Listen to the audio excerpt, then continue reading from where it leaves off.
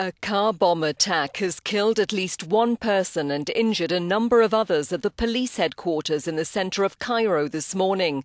Egyptian state television quoted witnesses as saying gunmen opened fire after the blast. Egypt's been rocked by political violence since Islamist President Mohamed Morsi was ousted by the military in July last year.